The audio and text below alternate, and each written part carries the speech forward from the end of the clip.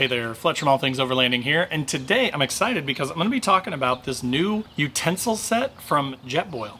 This thing's actually really cool. It's really inexpensive. I think it's under 15 bucks, and it's got some really nice features. So again, just wanted to share this with you today. So let's take a look at the Jetboil Trailware utensil set.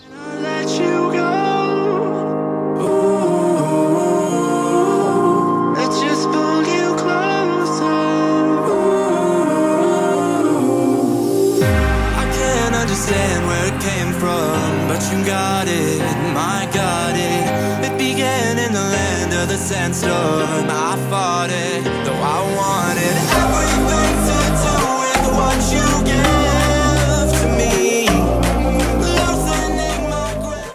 All right, guys. So again, today we're going to be talking about this Jetboil Trailware utensil set. I'm going to kind of show you all the features of this thing and show you why I like it and try and give you as much information as possible. So again, if you are looking for something like this for some sort of a camping or backpacking type of utensil set, you know what this one's all about and whether it would be a good fit for your needs. So let's start by talking about the form factor uh, material, it's plastic. These things are made of plastic. So they are on the sort of softer side, meaning that they have some flex to them. So I don't just playing with them a little bit. I don't worry about breaking them necessarily unless you got them caught between something or sat down on them in a weird position. So if you want something with a smaller form factor that is going to be really light, this may be a good option.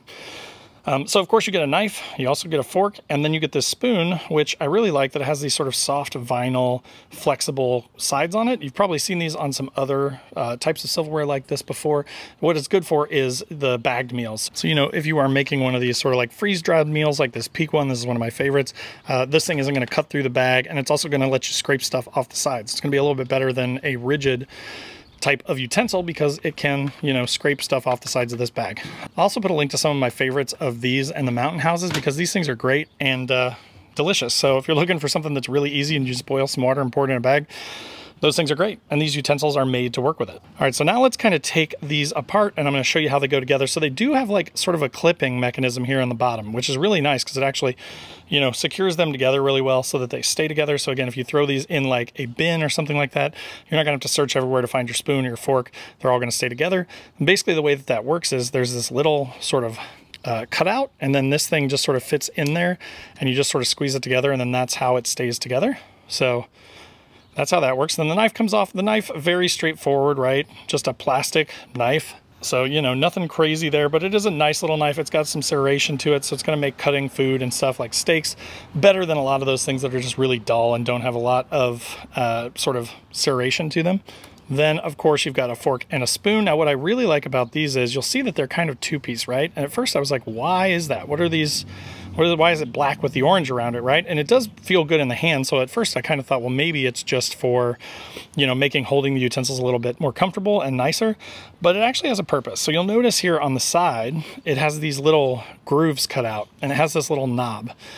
And then on the inside here, you see that it's kind of sprung, right? So it has a little spring action to it. So basically what you do is you push that in and you can slide it out. It's got three different settings, so you can make the spoon a little bit longer, but again, for exactly these bag type meals, you can make this thing really, really long so that you can get down in that bag and scoop out the food from the bottom.